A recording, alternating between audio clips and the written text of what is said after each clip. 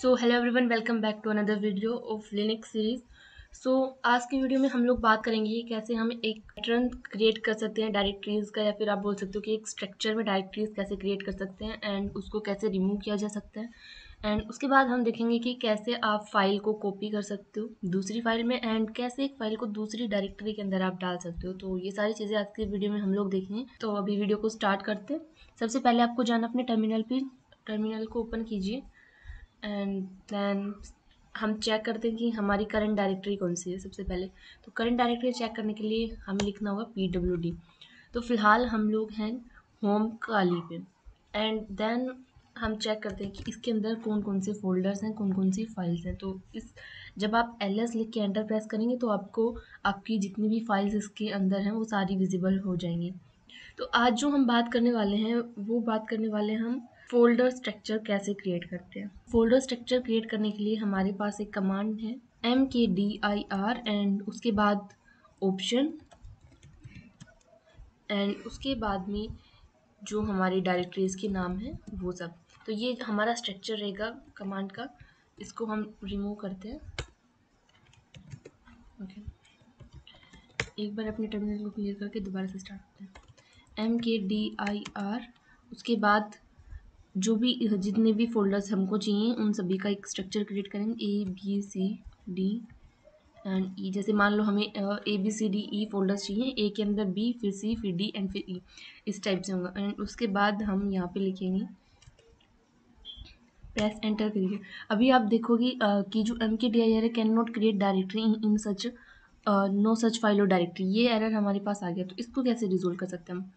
अभी आप फिर से जाइए अपनी कमांड को दोबारा लिखिए एंड वहाँ पे लिखिए हाइफन पी अभी आप देख रहे हो कि हमारे पास कोई एरर नहीं आया. इट मीन्स हमारे पास ये फोल्डर बन के रेडी हो गया है हमारी डायरेक्टरी में. तो एक बार हम जाके चेक करते हैं कि ऐसा कुछ क्रिएट हुआ है या नहीं. फ़ाइल सिस्टम में जाके आप अपनी फाइल्स को ओपन कीजिए. काली के अंदर हमने ए फोल्डर मिल गया हमें. उसके अंदर बी सी एंड डी उसके बाद ई e फोल्डर तो आप देख सकते हो कि हमारे पास ये पूरा पैटर्न क्रिएट हो गया है. यहाँ पे भी आप एल एस करके चेक कर सकते हो कि हमारे पास फोल्डर आया है या नहीं. एक बार यहाँ से इसको चेक करते हैं कि हमारे पास चीज़ें सही से हैं या नहीं. सी डी करके आप अगर फोल्डर का नाम लिखते हो तो आप उस डायरेक्टरी के अंदर चले जाएँगे. एंड उस डायरेक्टरी से आपको अगर बाहर आना है तो सी डी लिख के स्पेस उसके बाद टू टाइम्स डॉट आपको लिखना है एंड देन प्रेस एंटर आप उससे बाहर आ जाएँगे. तो अभी हम जाके चेक करते हैं। ए और ए के अंदर हमारे पास बी होना चाहिए। एंड उसके अंदर हमारे पास C then D and then E होना चाहिए। तो आप देख सकते हो कि ये पूरा पैटर्न हमारे पास अभी बन रहा है। ओके तो अभी हम देखते हैं एक और चीज़। यहाँ से हम पहले बाहर आते हैं। ओके अभी हम इससे बाहर आ गए। ठीक है, अभी हम देखते हैं कि अभी हमने जो था, हमारी फोल्डर को क्रिएट कर लिया। एक बार हम फोल्डर चेक करने के लिए, हमारे पास कमांड है एल एस हाइपन आर तो यहाँ पे ये आपको जो फोल्डर स्ट्रक्चर है, वो प्रॉपरली विजिबल करवाएगा। यहाँ पे हम एक बार चलते हैं सी डी ई में एंड यहाँ पे हम वो कमांड यूज़ करके देखते हैं। आप यहाँ पे देख रहे हो, ये आपको फ़ाइल का पूरा स्ट्रक्चर बता रहा है कि उसका पाथ क्या क्या है और ये कैसे बना हुआ है पूरा स्ट्रक्चर एंड अभी इसको क्लियर करते हैं अभी जो हमने फोल्डर बनाए हैं हमको उनको डिलीट करना है तो वो कैसे कर सकते हैं हम? वो चीज़ देखते हैं। वो डिलीट करने के लिए हमारे पास कमांड है R M D I R and then option and उसके बाद जो हमारे डायरेक्टरीज हैं वो। आ, तो ये जो मैंने अभी लिखा ये हमारे पास स्ट्रक्चर होता है। अभी हम कमांड यूज़ करते हैं अपनी proper R M D I R उसके बाद जो हमारे फोल्डर हैं वो लिखते हैं। ए बी सी डी ई अभी इसमें एक एरर आया, क्योंकि ये बोल रहा है कि ये स्ट्रक्चर को रिमूव नहीं कर पाया। इसका रीज़न है कि जो ये नॉर्मल कमांड है, इसका यूज़ करके हम डायरेक्टरी को डायरेक्ट रिमूव नहीं कर सकते। इसके लिए हमारे पास अलग से हमें एक चीज़ लगानी पड़ेगी। उसका नाम है R M D I R hyphen P और ये पी फ्लैग हमें लगाना पड़ेगा, जिससे कि हमारी जो डायरेक्टरीज हैं, वो रिमूव हो पाए। सी डी एंड ई अभी अगर आप देखोगे तो ये हमारे पास रिमूव हो जाएँगी। इसमें अभी भी कुछ एरर बता रहा है ये तो वो हम चेक करते हैं पर। Fatal fail to remove no such okay okay it's saying that ऐसे कोई डायरेक्टरी नहीं है हमारे पास तो ये इसको रिमूव नहीं कर पा रहा। एक बार चेक करते हैं कि हमारे पास सच में से कोई directory I am so sorry क्योंकि हम लोग ऑलरेडी गलत बात पे ना। दैट्स वाई हम लोग ये इशू फेस कर रहे हैं अदरवाइज़ तो ये वर्किंग है प्रॉपरली ओके ना अब देख सकते हो कि ये हमारे पास रिमूव हो गया। साइड में भी वहाँ से वो फ़ाइल हट चुकी है। एक बार एल एस करके देखते हैं यहाँ पे। यहाँ पे कोई भी ए नाम से फोल्डर नहीं है करेंटली तो आई होप कि आपको समझ आया होगा कि आप कैसे स्ट्रक्चर को फोल्डर स्ट्रक्चर क्रिएट कर सकते हो एंड देन उसको कैसे डिलीट किया जा सकता है एक साथ में। एंड एक चीज़ और मैं आपको करके दिखाती हूँ कि ये जो पीछे इसका जो भी प्रोसेस चला है, ये कैसे डिलीट हुआ है, वो मैं आपको पूरा दिखाती हूँ एक बार कि कैसे आप पीछे क्या क्या प्रोसेस हो रहा है, कौन सा फोल्डर पहले डिलीट हुआ है एंड कौन सा बाद में? तो ये देखने के लिए हम एक बार फिर से एक नया फोल्डर क्रिएट करते हैं। एंड फोल्डर क्रिएट करने के लिए हमारे पास वही कमांड है M K D I R hyphen P and then folders के नेम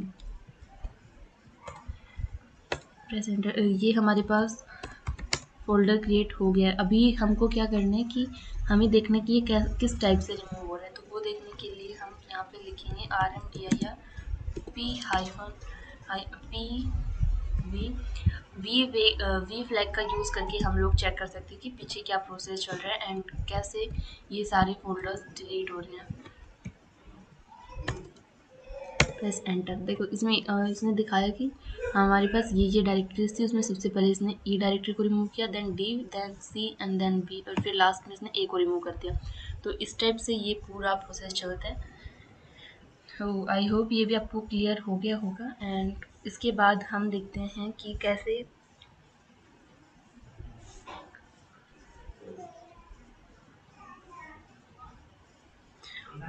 इसके बाद हम एक और चीज़ देखते हैं कि एक फ़ोल्डर क्रिएट करते हैं. उसके अंदर एक फ़ाइल क्रिएट करके देखते हैं. एंड फिर उसको रिमूव करने की कोशिश करते हैं कि वो रिमूव हो पाता है या नहीं हो पाता है. तो चलिए चलते हैं.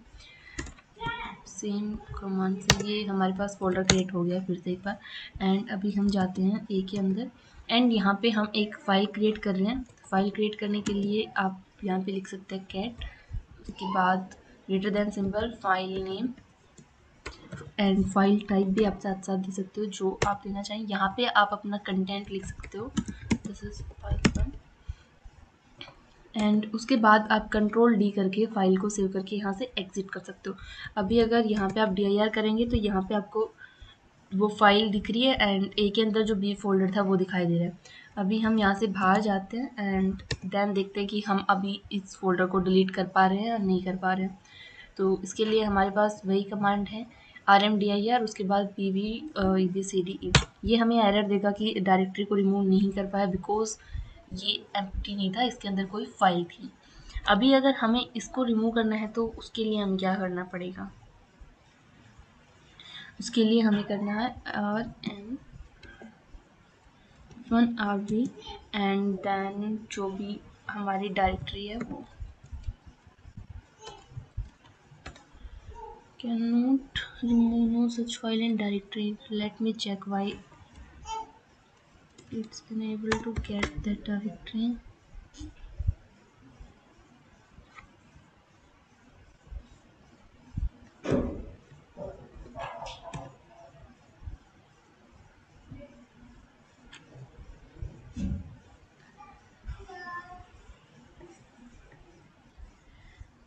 okay okay, इस बार ये रिमूव हो गया है हमारे पास एंड अभी हम देखते हैं कि इसके अंदर क्या क्या बचा है। आप देख रहे हो कि यहाँ पे जो फोल्डर था हमारे पास, वो रिमूव हो चुका है along with their file structure जो भी उसके along with its child directories along with its child directories यहाँ पे वो फोल्डर रिमूव हो गया। अभी हम नेक्स्ट कमांड की तरफ़ मूव करते हैं that is C P C P का यूज़ करते हैं हम किसी भी फ़ाइल को कॉपी करने के लिए। नोट इवन फ़ाइल डायरेक्टरीज को भी कॉपी किया जा सकता है उससे। तो हम एक, उसका एक एग्ज़ाम्पल करके देखते हैं। सबसे पहले हम स्ट्रक्चर देखते हैं कि किस टाइप से होता है इसमें। सी पी देन जो हमारे पास ऑप्शंस हैं एंड उसके बाद सोर्स हमारा। सोर्स इन द सेंस जो फ़ाइल हमें कॉपी करनी है वो एंड उसके बाद डेस्टिनेशन जहाँ पे हमको ये फ़ाइल लेके जानी है। तो अभी चलते हैं हम एंड अपनी कमांड लिखते हैं इसके लिए। लेट्स सपोज़ पहले हम एक फ़ाइल क्रिएट करते हैं फ़ाइल क्रिएट हमने कल करना सीखा था। तो यहाँ, वहाँ से आप अपनी फ़ाइल को क्रिएट कर सकते हैं कैट एंड उसके बाद फ़ाइल का जो भी नेम है आपकी, वो डालना है एंड देन एंटर यहाँ पे आप अपनी फ़ाइल का टेक्स्ट लिख दीजिए।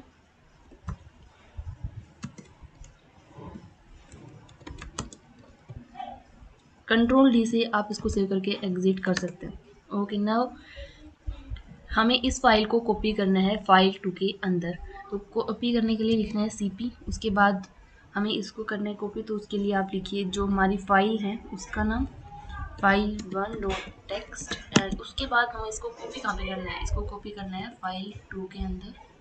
डॉट टी एक्स टी अभी यहाँ पे जो सी पी कमांड है, वो ऑटोमेटिकली एक नई फ़ाइल को क्रिएट करेगा एंड उसके अंदर सेम कंटेंट पेस्ट करेगा आपका। प्रेस एंटर एंड उसके बाद हम चेक करते हैं कि फ़ाइल वन के अंदर क्या कंटेंट है और फ़ाइल टू के अंदर क्या कंटेंट है। ये चेक करने के लिए आपको लिखना है कैट एंड फ़ाइल नेम उसके बाद आपको दिखाई दे जाएगा कि फ़ाइल के अंदर क्या है।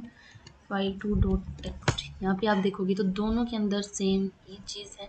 और यहाँ पे आप देख सकते हो कि हमारे पास file one and file two दोनों क्रिएट हो चुके हैं। ओके आई होप इतना क्लियर है आपको। इसके बाद हम देखते हैं कि अगर हमें फ़ाइल वन को किसी डायरेक्टरी के अंदर कॉपी करना है तो वो कैसे करेंगे। तो सेम प्रोसेस रहेगा यहाँ पे। आपको फ़ाइल का नाम लिखना है एंड उसके बाद डायरेक्टरी का नाम लिखना है।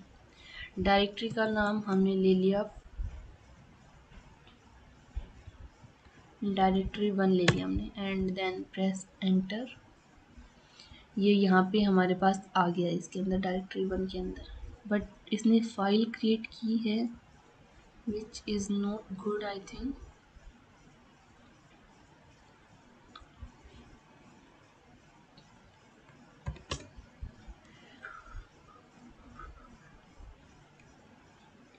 okay maybe actually ये ना, जैसे आप फ़ाइल क्रिएट कर सकते हो इसे लेकिन जो डायरेक्टरी वो क्रिएट नहीं होगी तो आप पहली बार एक डायरेक्टरी बना लीजिए।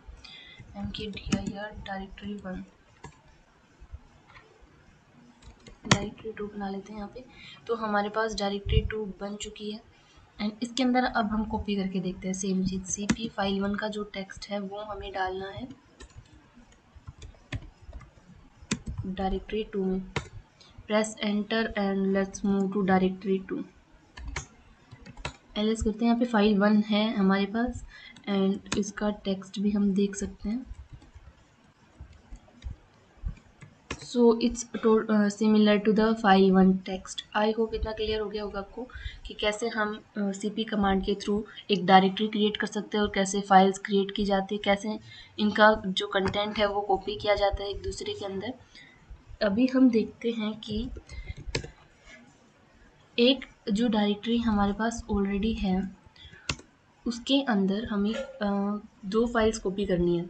एक तो जो ऑलरेडी एग्जिस्टिंग है और एक जो नहीं है। तो चलिए हम करके देखते हैं कि क्या होता है। हमें इसको ओवरराइट होने से प्रोटेक्ट करना है। जो हमारी फ़ाइल वन ऑलरेडी है डायरेक्टरी टू में, उसको प्रिवेंट करने की वो ओवरराइट ना हो। तो मैं आपको दोनों तरीके, पहले तो हम देखेंगे कि ओवरराइट होगा तो वो कैसे होगा एंड उसको कैसे प्रिवेंट कर सकते हैं। वो दोनों चीज़ें अलग अलग कमांड के थ्रू देखते हैं हम लोग। तो जो ओवरराइट होगा उस केस में पहले हम इसका कंटेंट चेंज करते हैं। सी पी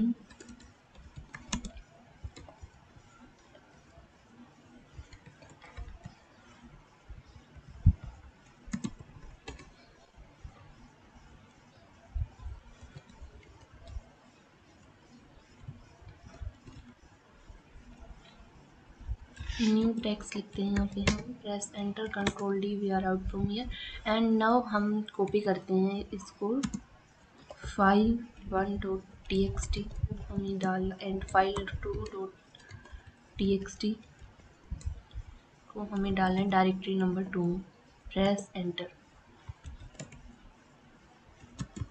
directory two में चलिए एंड जाके चेक कीजिए वहाँ पे। फ़ाइल वन ऑलरेडी थी हमारे पास, इसका कंटेंट दिख गया। फ़ाइल टू तो था ही नहीं यहाँ पे तो कोई चांस ही नहीं बनता यहाँ पे ओवरराइट होने का।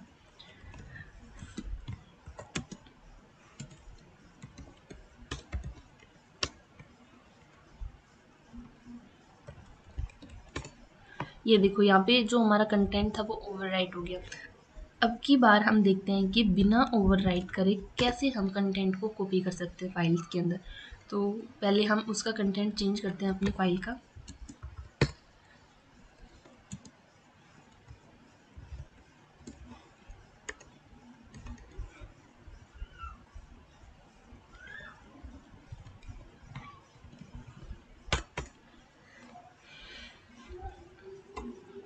सेकेंड न्यू टेक्स्ट लिखते हैं यहाँ पे। आर आउट फ्रॉम अभी हम कॉपी करके देखते हैं इसको। कॉपी करने के लिए सी पी जो फ़ाइल हमें कॉपी करनी है वो फ़ाइल टू जिसको हमें कॉपी करना है and then directory name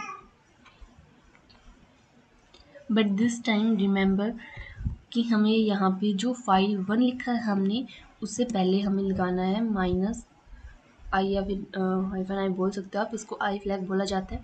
and then press enter ये बोल रहा है कि जो फ़ाइल वन का टेक्स्ट है वो आपको ओवरराइट करना है तो हमें ओवरराइट नहीं करना है तो आपको लिखना है यहाँ पे no and then press enter ये फिर से पूछ रहा है कि आपको फ़ाइल टू का कंटेंट ओवरराइट करना है तो इस केस में भी हम मना कर रहे हैं एंड देन प्रेस अब हम देखते हैं कि हमारा कंटेंट एक्चुअल में कॉपीराइट हुए बिना हुआ है या नहीं हुआ है.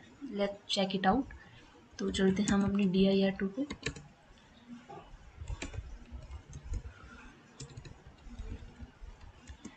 Cat file one dot T okay हमने देखा था कि हमारी जो फ़ाइल वन का जो टेक्स्ट है, उसके अंदर हमने एक नया टेक्स्ट ऐड किया था, यहाँ पे सेकेंड टेक्स्ट बट वो यहाँ पे नहीं लिखा गया। इट मीन जो हमारे फाइल्स फाइल्स कॉपी हुई हैं, वो ओवरराइट नहीं हुई हैं तो इस टाइप से आप जो ओवरराइट होता है कंटेंट उसको प्रिवेंट कर सकते हो। तो आई होप कि आपको ये चीज़ें समझ में आई होंगी। बाकी ये चीज़ें हम अपने नेक्स्ट वीडियो में देखेंगे। आज के लिए इतनी commands and see you soon in the next video if you like this video so please don't forget to hit the like button and subscribe to my channel thank you so much for watching this video